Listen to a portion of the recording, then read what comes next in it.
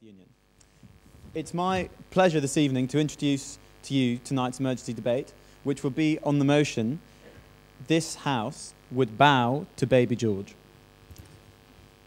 Opening the proposition, we have a first year law student from King's, Sachin Parathinglam.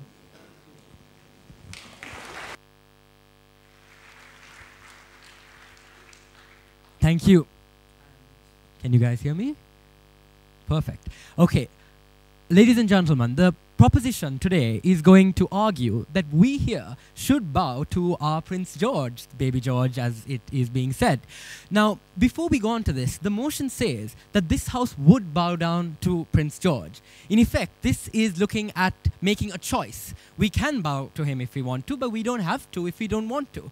And the fact of the matter is, I am going to argue that we should, based, or we would rather, based on the fact that Prince George represents the monarchy.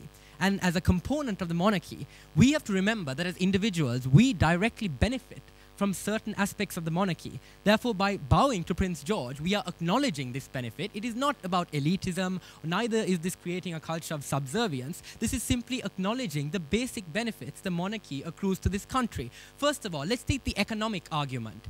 It is indisputable that the royal wedding brought in millions and millions and millions of pounds to Great Britain in tourism. Sure, there was about a 7 million bill in terms of taxation for security, but the fact of the matter is, economically, much more money was brought in than it was spent. Secondly, the fact is, the monarchy, the tourism it creates, the multifaceted nature of the monarchy means that tourism and income is brought to the country in a variety of ways. I mean, for example, the royal wedding, the jubilee, hundreds of thousands of dollars are generated each year through just random restaurant events, parties, things that are acknowledging the fact that we have this monarchy and benefiting from the fact that tourism bring uh, the tourism that uh, comes along with being a part of the monarchy and endorsing the monarchy.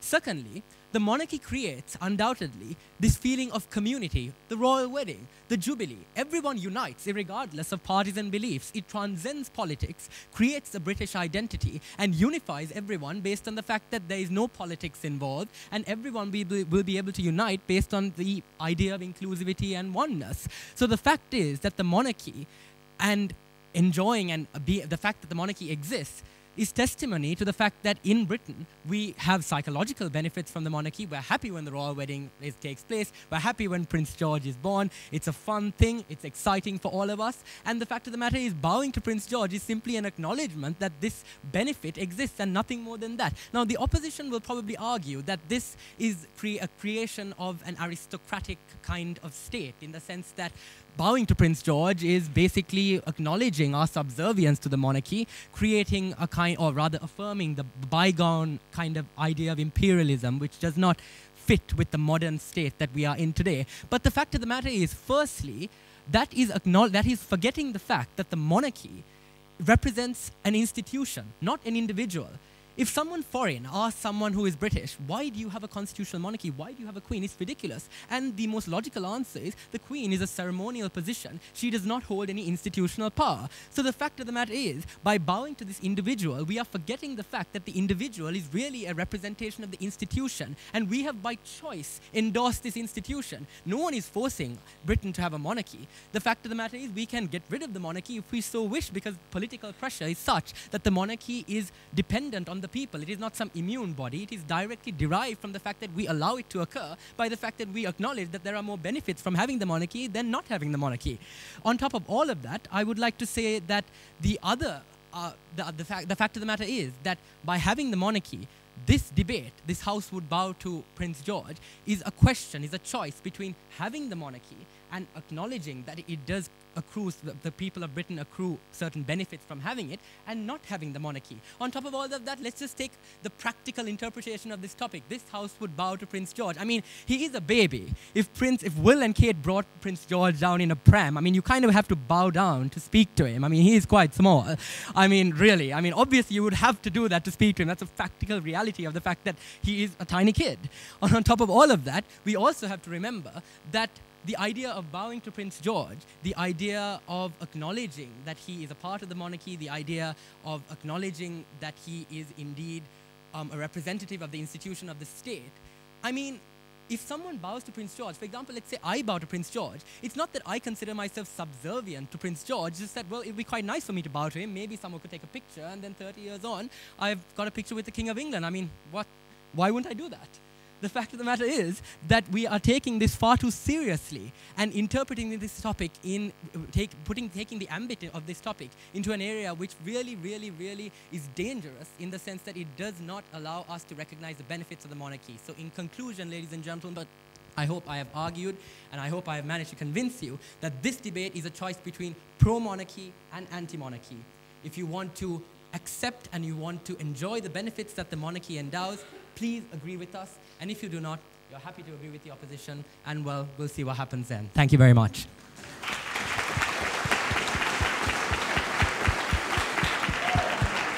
Thank you very much. Thank you very much, Sachin.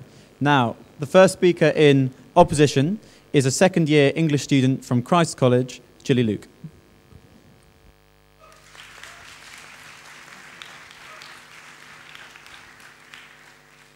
Ladies and gentlemen, I understand the appeal of the sweet, nostalgic smell of tradition. I'll admit I get a little light-headed when I put my gown on. I enjoy the Latin grace at dinner and I like a little bit of pomp and ceremony as much as the next guy. The thing with Cambridge traditions is that they are largely harmless, charming even uh, a remnant from an older and more softly bigoted age in which the consumption of large amounts of alcohol at 19 was enough to guarantee you a ministerial position at 50.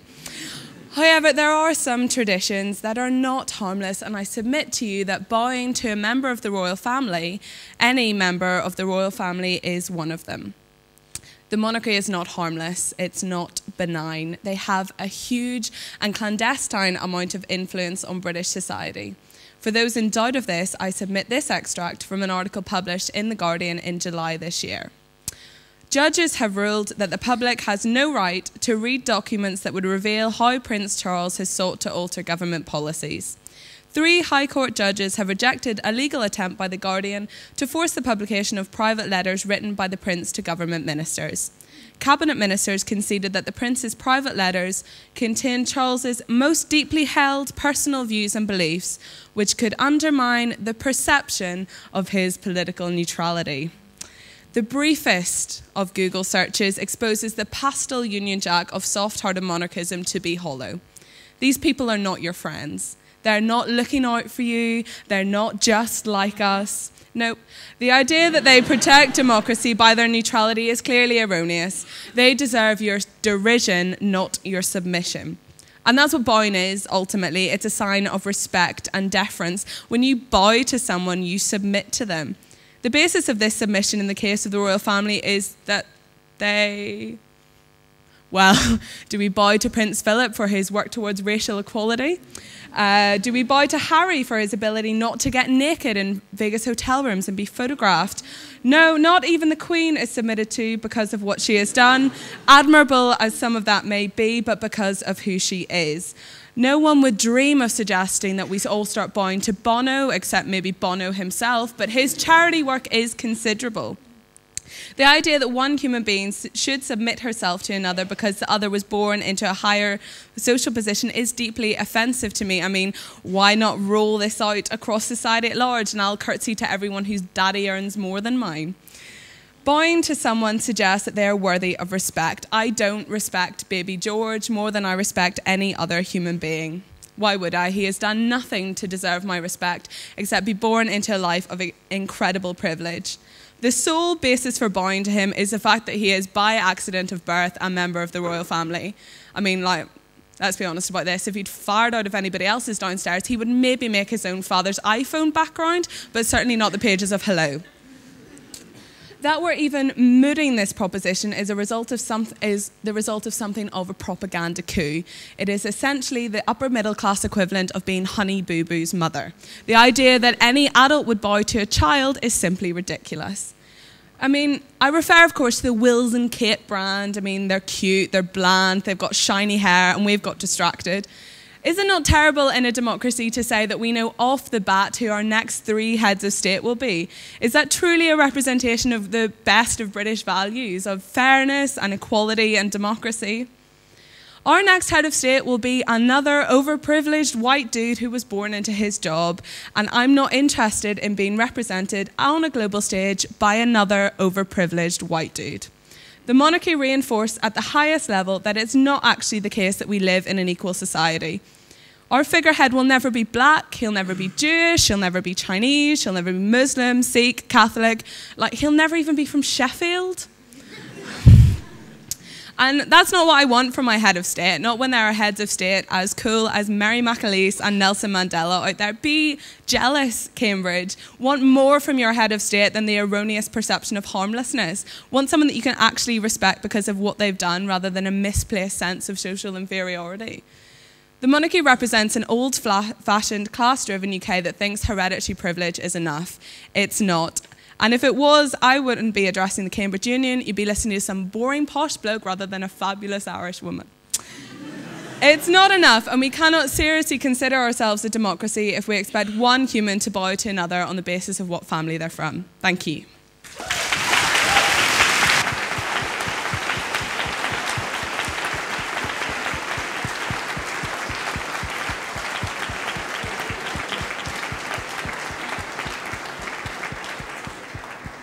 Thank you very much, Jilly. Now, as is customary, I will open the floor to two rounds of floor speeches uh, in proposition, opposition, and abstention of the motion. Is there anybody who would like to make a one minute speech in proposition?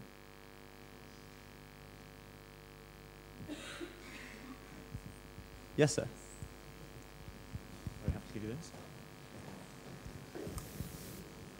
Richard Parkins, Trinity College. Mr. President, I'm getting a little bit fed up with hearing the litany of undemocratic. What's so great about democracy? Adolf Hitler was elected democratically. So was Joseph Stalin. So was Robert Mugabe. There is nothing virtuous or wonderful about democracy. It's simply the fact that most other systems of government that we've so far been able to devise seem to work less well. Just remember that when somebody says, undemocratic! Thank you.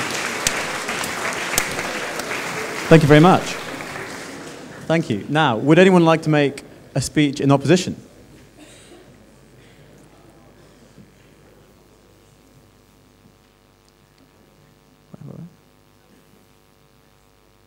I, I, I must be blind. Here we go. Yes, thank you.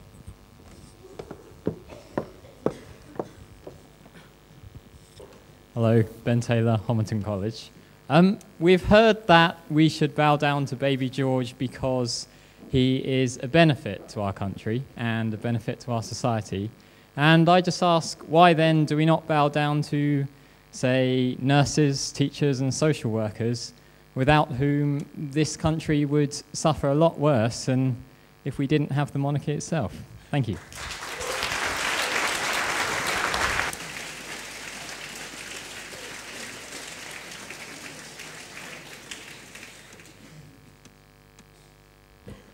Thank you very much. Um, would anyone like to make a speech in abstention? Yes, I think I saw you first.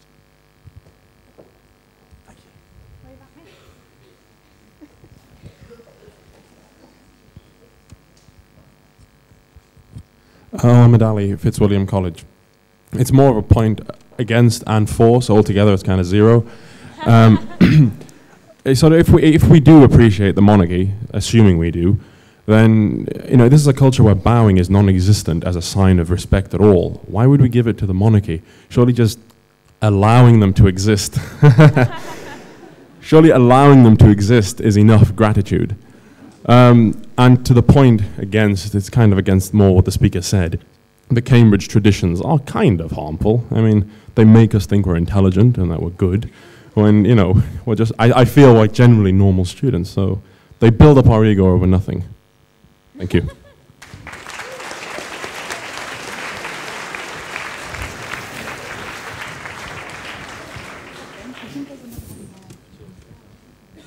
Thank you. Now, I would like to invite one more round of floor speeches. Um, so, could we have one more speech in proposition, please?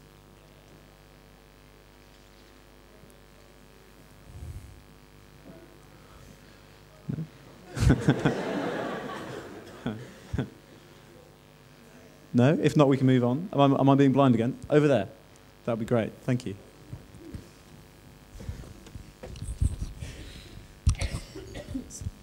Uh, Tom Harvey, Queen's College.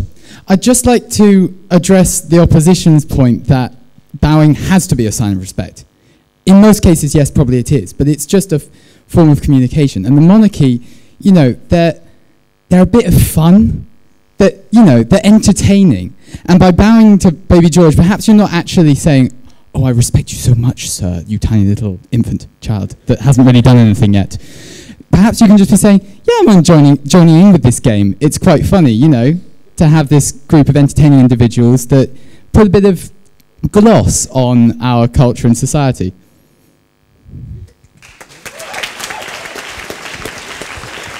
Wonderful.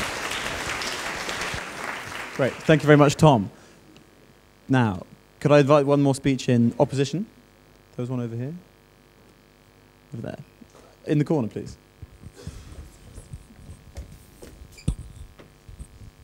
I am a very manly man. And as a very manly man, I stay away from all things pink, all things fluffy, all things cute. Imagine then when I'm on Facebook and I see pictures of this adorable tiny little infant, George. How do I feel? I feel emasculated. My feeling of self worth plummets. And I'm sure it's the same for many, many other manly men in this room. And so, for the self worth and self confidence and just general all round image of all men, I think the idea of in any way appreciating a cute little child abhorrent. Thank you very much.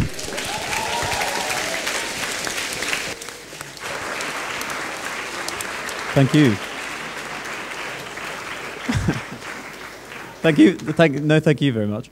Um, now, finally, I would like to invite one speech in abstention over there, please. Callum Worsley, Emmanuel College. Now, I buy arguments from both sides here. I don't entirely agree with the whole birthright thing, but equally I agree with the gentleman over there that democracy is a slightly overrated thing. But hey, bowing to little kids might be kind of cool, so why don't we try and work this out somehow else? I propose, therefore, a meritocracy where the coolest dads in the land, the manliest men, etc., etc., our good friend over here, for example, I suggest they then participate in whatever kind of combat we so choose, whether that be th- throwing objects at one another, or I don't know, I've got that kind of game show gladiators in my head, whatever. We will hold a public vote, we will decide how these guys are going to compete, and basically the coolest dad will get the, the British public to bow down to their kid, because hey, that might be cool, why not?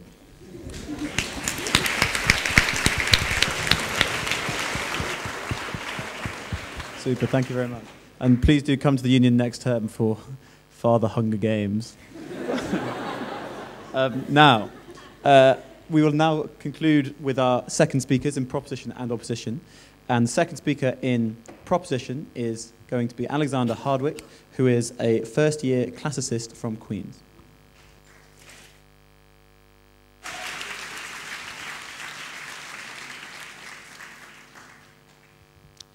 Thank you. Right now, before I, well, this debate's been a lot about monarchy so far, and I'm I'm fully with what was said about the monarchy on, of course, proposition side, not so much on opposition side. But I want to make this debate more about what about George. But firstly, let me just rebut some of the um, more interesting assertions that have been made against us.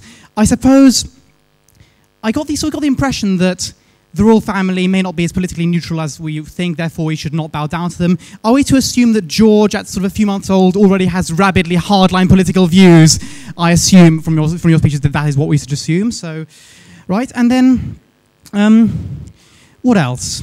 Yes, we have a manly man over there who was emasculated by George. Well, I'm sorry for you, but it happens. I don't know what to say, really.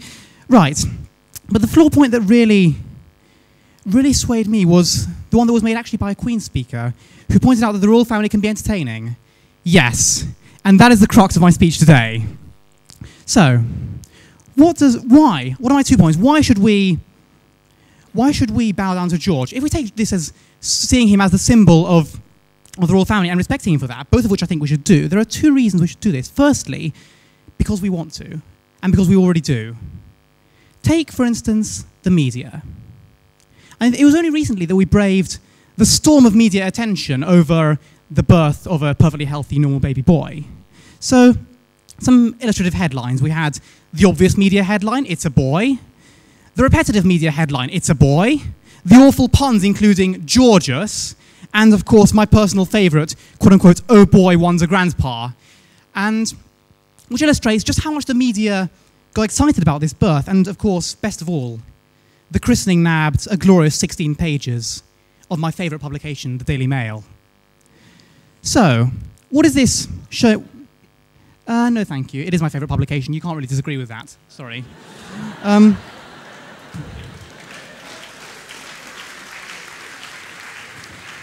so, what does this tell us? Why is it significant? Why should you listen to someone who thought the pun produced by The Sun was actually quite funny? Well, the point is, this is the power exercised by a baby. Without even really realizing it, we have followed George's every move since birth. We could probably guess from interviews with his father the average volume in decibels of George's voice when he wakes up at night. We, ladies and gentlemen, every time you buy a newspaper with, with, with, with which describes, talks about what George's been up to, you bow down to him. Because you buy these newspapers, you want to find out about the royal family. You find them entertaining, as the floor speaker said. Uh, no, thank you. And so, because, simply because, if, if nothing else, you already do and you want to find the royal family entertaining, why not? Why not give in to this? Why not bow down to them if they're so integral to our society that you buy newspapers every day which talk about them? Now, my second point.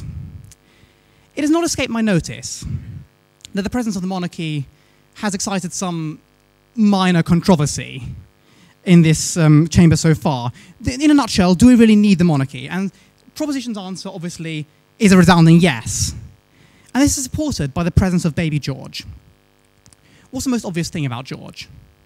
Hmm. Well, he's a baby. He's immensely cute, okay? Unless the opposition has a heart of stone, which, from what they've said, it seems a reasonable assumption to make, um, I, think, I think they have to concede that. So what? Why is it significant? Well, an immensely cute baby, uh, no thank you, challenges the subconscious perceptions of the monarchy as, as perhaps outdated, slightly archaic. Some people, I can't quite believe it, but there you go. Some people think the monarchy is irrelevant. Some think the monarchy is archaic. They are wrong. And how can we prove to them they're wrong? Well, a baby, the ultimate relatable image, the ultimate society friendly image. Simply Im imagine a future in which George is playing with baubles in the corner of the Queen's Christmas message. Imagine that. Doesn't that make the monarchy the ultimate relatable, family friendly gr group?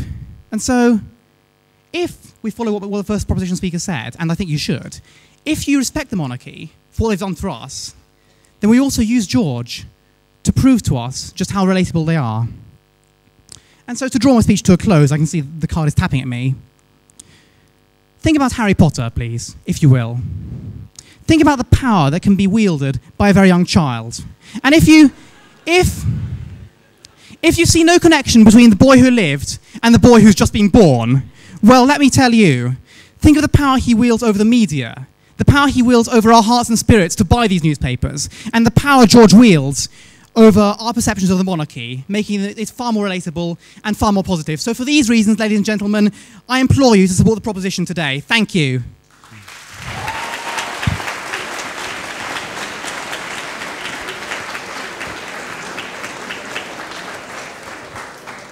Thank you very much, Alexander. Now, to close the case for the opposition, I would like to invite Alex Porter, who is a third year PPS student from Murray Edwards.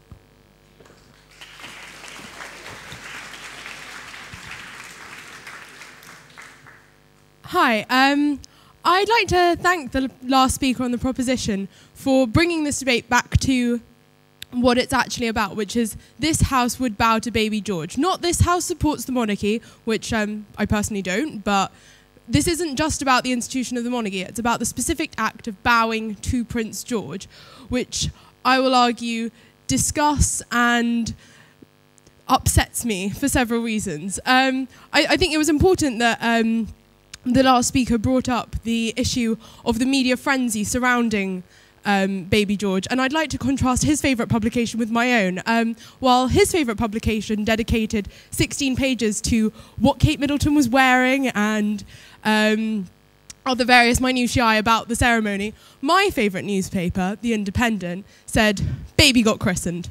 That, that was literally their headline. It was a box about that big. Um, and I think that very well sums up how I feel about this issue for every minute we spend worrying about Prince George, for every page of news that is dedicated to his christening, there are thousands of children, thousands of people being ignored, thousands of people whose stories are not as important as George's by virtue of not being born into the incredible privilege to which he is party. Um, yes, I'll cede.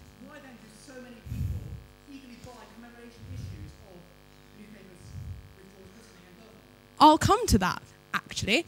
Um, the reason that it disgusts me on such a profound level, especially at this moment in time, is because of the incredibly hard times so many people in this country are facing. And I think, you know, the monarchy is great. It is a, it's a bit of fun. It stops us having to worry about the fact that lots of things are very, very wrong with this country at the moment. One of those being institutionalized class privilege. Um, and I think that the the deference to the monarchy on this issue is particularly worrying and disturbing. Um, so I, I would say that the the monarchy is held up as a symbol that is completely antithetical to meritocracy. Um, and I'd like to come to the point that um, the proposition, the first speaker on the proposition, argued that the monarchy doesn't have any real power. Um, and that seems to be an important part of political power, um, which I would argue is complete nonsense. Of course they do. Um, if you didn't see the Evening Standard over the summer published a thousand most powerful Londoners, and Prince George was number one. I mean, just because he can't run for office, it doesn't mean that he doesn't have incredible social power and. Um, if he is ever monarch, incredible political power as well. How many, how many of us have the privilege just of, by virtue of being born, to have 20 minutes with the prime minister every week? I, I, I don't think I will. So um, I think that's quite important to think about how much political and social power he had compared to other people such as David Cameron, Mark Carney, you know, people that weren't born a month ago. Um, and I think the, the last point that we've, um, the, the proposition, uh, the opposition would like to make is um, of rebuttal is in response, the monarchy does good. The monarchy brings good to this country, but the monarchy can only bring good due to the incredibly privileged position it's in. Um, the, we've had a lot of discussions, I feel, in Cambridge recently about privileging speech. And, you know, Prince Charles gets to set the agenda on architecture, on the environment, by virtue of nothing, by virtue of being born. And I find this very distressing. And, um, and I think that this is a problem. Like, they might, they might do good, but they do good from a position that they have no right to decide the agenda on. Um, the last speaker mentioned that, um, you know, we, we have a problem with Prince George because we don't know what his, you know, why, why would we have a problem? He's not political. Of course he's political. I mean, given his, given his family history, what do we reckon his political views are going to be? They're obviously going to be to continue with the status quo because the status quo is doing pretty well for him. So I think if we're against the status quo, if we have issues with the way society is at the moment with the way class is so institutionalized I, if, if you have any belief that there, we're lacking in equality in society at the moment I think it's completely antithetical to bow to Prince George thank you very much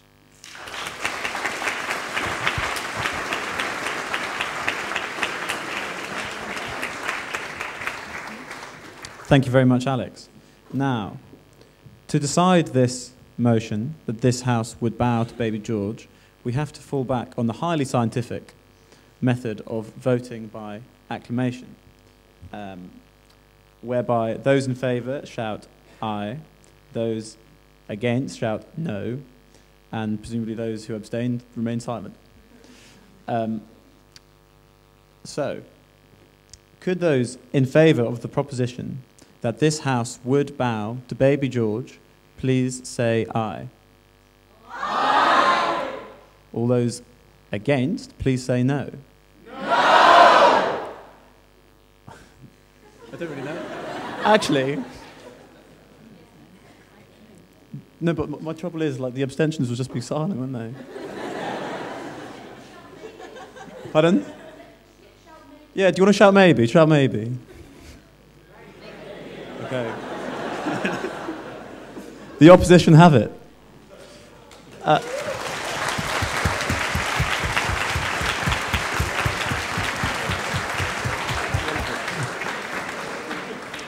Ladies and gentlemen, thank you for being a wonderful audience. I do hope you enjoy this evening. Thank you.